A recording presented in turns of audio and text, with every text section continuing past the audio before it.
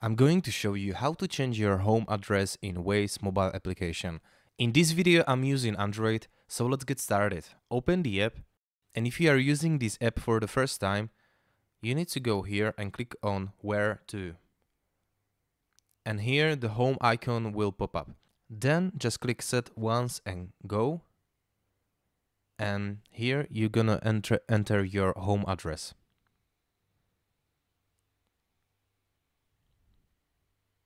And now if you want to navigate to your home address, you just simply click on home. And now it's going to navigate you to your home address. And this is how can you simply set up your home address in Waze mobile application. Thank you for watching. If you find this video helpful, please leave a comment or like. And if you want to see more, subscribe and see you later. Bye bye.